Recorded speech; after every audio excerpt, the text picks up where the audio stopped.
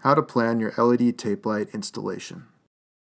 In this video, we'll review an easy checklist of questions to help you determine the right components for your LED installation. We'll also review a few key concepts to help you install the product.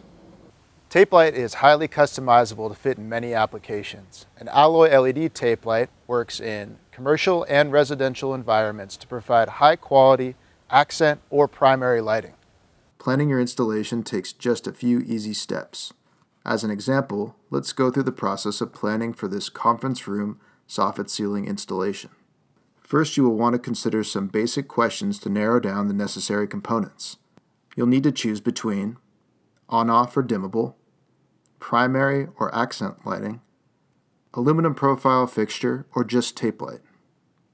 Let's go through the component sequence and a couple of helpful installation techniques. Here is a view of our soffit dimensions.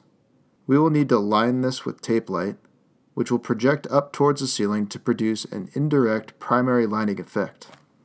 Primaline 6.6 tape light is a great high output option for this, with a rating of 700 lumens per foot. First, you will need to calculate your driver size. With 24 total feet of tape light at 6.6 watts per foot needed, a 200 watt non-dimmable driver is available so we can just use one driver to power this entire installation. Now you will need to check the maximum run length rating, in this case 20 feet. The total measurement of our rectangle is 24 feet, but this is not a problem. We will simply tie two runs of tape light back to our driver. As long as each run is under 20 feet, the max run, we will be fine. In this case, each run will be 12 feet. Alloy LED tape-to-tape flexible extensions make it easy to turn corners as the tape light is installed around the soffit. All alloy tape light is dimmable, so if you wanted to plan for a dimmable application, you'd simply replace a non-dimmable driver with a dimmable driver.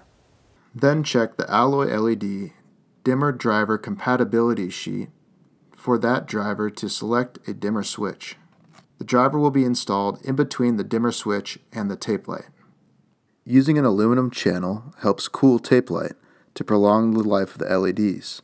It also helps tape light lay flat and straight for even output. For primary uplighting, use a clear lens to maximize brightness. Alloy LED products are easy to cut to length and install in the field. Alternatively, Alloy offers customization services to trim tape light or create completely assembled fixtures with specified lead wire lengths for any installation. In addition, we are available to assess your project and put together a detailed part list for you. Each part list includes a diagram just like the diagrams featured in this video.